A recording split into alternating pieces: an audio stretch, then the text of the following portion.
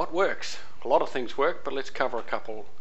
To me, having a thorough understanding of what is the most important to you for this trip and then being prepared to make sacrifices if the time is right. That's the hard part. It's saying to yourself, what am I prepared to give up to ensure that I optimize my travel? And that's one of the key things that we like to sit down and help define a clear purpose for your travel. Something that gives you some unique experiences, pushes your boundaries a little bit, and with luck creates a lifelong memory for you. So let's carry on and see what else we can discover. I've got a couple of things that don't. This is number one in my opinion.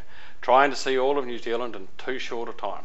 Much, much better to select an island or a region and like for instance North Island or South Island as I mentioned or just go to Queenstown or to uh, central Otago or up to the central Hawke's Bay region but whatever you do please you'll be shocked at how much there is to do. I couldn't even begin to share with you a fraction of what's available.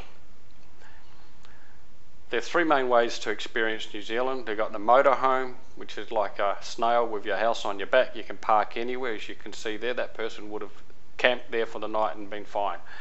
You've got the car, you can use a sports car or you can uh, use any other econ economical car, and then you can do the coach.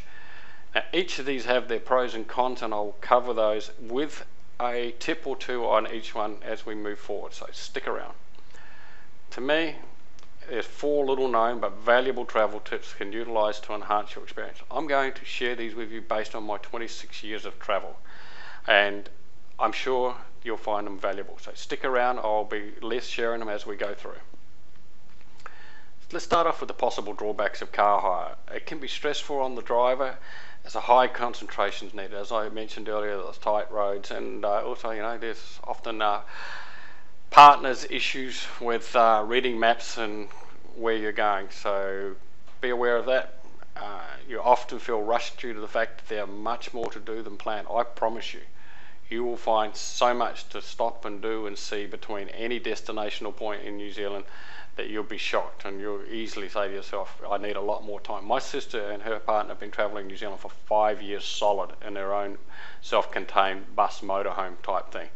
And they still reckon I've got another couple of years to complete it. So that just gives you some idea of what there is there. Budgets are much harder to adhere to because there's just so many different ways and things that you can spend money on New Zealand to have new experiences from horse riding to hang gliding to uh, jet boat riding to all kinds of off-road and activities, not to mention uh, all the little other attractions. Benefits of car hire, and there are some quite good ones. Cars are usually very affordable in New Zealand. The distances are short, so you don't use a lot of fuel. Uh, usually, I would say the bigger brands with their uh, have a much better support system. So if something happens when you're uh, in your car, having a bigger brand, the benefit of that is that you can be in a position where you'll be back on the road again quickly if either you have a breakdown or an accident. Important to remember because people do have breakdowns and the odd accident. You set your own timetable, your own pace. So uh, anybody who wants to be 100% in control, doesn't like to be regimented by somebody else, do it by car. Well, we're at the halfway point already. This is a uh, time for a coffee break. So if you've got a minute, get up and have a coffee this is a fantastic place to have a cup of coffee too. And it's 75 kilometres out of Christchurch, and it's just unbelievable little place. Akaroa to me is one of the hidden jewels of in New Zealand. You'd be surprised how many people just don't find the time to go there. Believe me, everyone who goes to Akaroa is so glad. Please make it a coffee stop for yourself. Okay, let's get on with the car hire tip. The first one is get a 4 times 4 uh, by that I mean a four-wheel drive like in the photo below. Uh, a diesel motor is, uh, diesel's a little less expensive in New Zealand than petrol. The economy is good and you've got some flexibility as you notice in that picture there.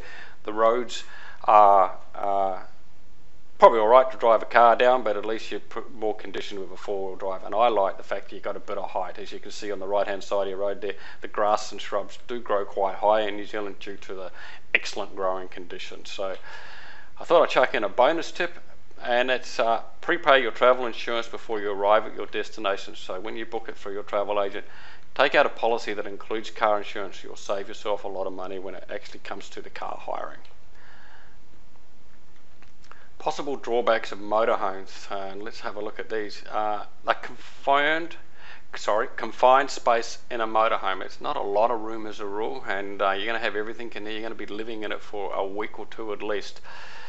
You don't have a guide to tell you about the areas, the culture. It's easy to miss historical significant places. Uh, not like on a coach tour where a, a, coach guide will be able to tell you all the way along what's going on and uh, fill in a lot of blanks for you.